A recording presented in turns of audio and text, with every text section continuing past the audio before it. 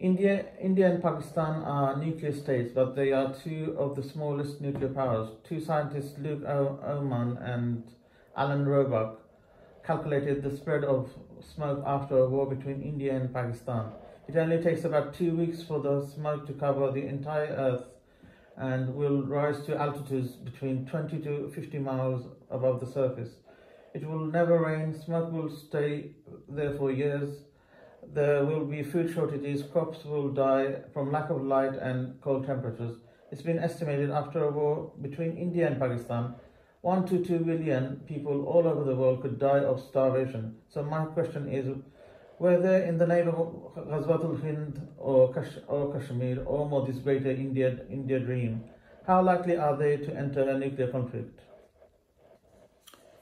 I am uh, someone who has consistently advised that we must show respect for the Hindu religion and that we must condemn Muslim rule over India, Hindu India for so many centuries as Islamic imperialism, and there is no imperialism in Islam.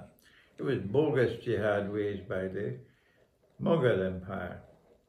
And the Hindus have every right to be very um, pained over Muslim rule over India, uninvited Muslim rule over India for so many centuries.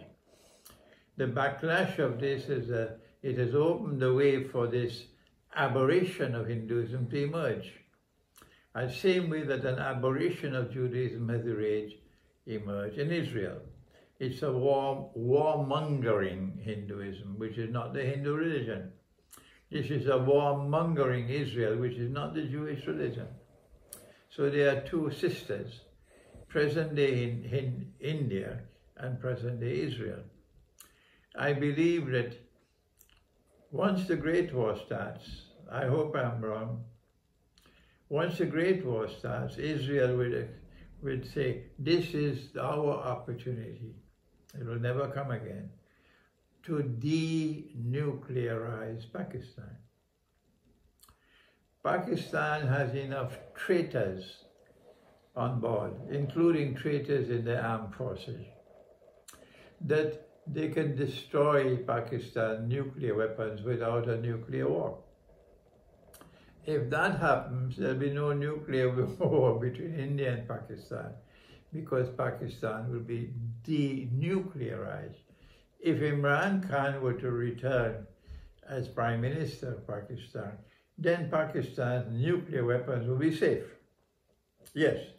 And yes, if India attacks, there'll be nuclear war if Imran Khan returns. And the people of Pakistan are supporting him. It is only the traitors who are puppy dogs of NATO. They're the ones who are opposing Imran Khan. And they're the ones who might innocently preside over the destruction of Pakistan's nuclear um, nuclear uh, weapons. Um, so uh, once the Great War starts and Israel attacks Pakistan to denuclearize Pakistan, Israel do, will do so in alliance with, with India and of course with NATO. With these three forces at work, NATO, India and Israel, today's Pakistan doesn't stand a chance.